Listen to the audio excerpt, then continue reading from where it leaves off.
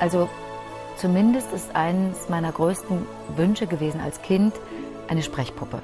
Und das, äh, die saß dann noch irgendwann. Ich habe sie mir gewünscht und habe äh, gehofft, ich bekomme sie. Und dann gab es die Bescherung und Weihnachten und wir kamen in das Zimmer und ich suchte überall nach dieser Puppe, weil ich hatte so gehofft, dass ich sie bekomme.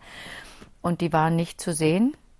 Und dann war ich schon ziemlich traurig und dann sagten meine Eltern, als ich dann so auf der Couch in mich zusammen so, guck mal nach oben, sank und dann saß sie oben in der Lampe. Geschichte eines Pfefferkuchenmannes von Jens Paul Richter. Es war einmal ein Pfefferkuchenmann, von Wuchse groß und mächtig.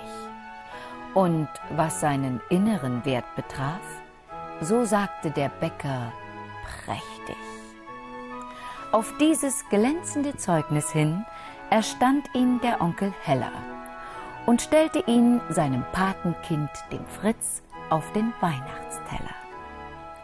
Doch kaum war mit dem Pfefferkuchenmann der Fritz ins Gespräch gekommen, da hatte er schon aus Höflichkeit die Mütze ihm abgenommen. Als schlafen ging der Pfefferkuchenmann, da bog er sich krumm vor Schmerze. An der linken Seite fehlte fast ganz sein stolzes Rosinenherze. Als Fritz tags drauf den Pfefferkuchenmann besuchte, ganz früh und alleine, da fehlten, o oh Schreck, dem armen Kerl ein Arm schon und beide Beine.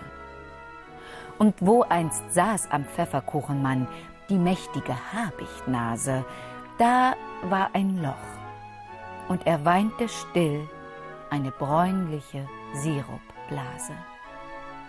Von nun an nahm der Pfefferkuchenmann ein reißendes, schreckliches Ende. Das letzte Stückchen kam schließlich durch Tausch in Schwester Margaretchens Hände. Die kochte als sorgfältige Hausfrau draus für ihre hungrige Puppe auf ihrem neuen Spiritusherd eine kräftige, leckere Suppe.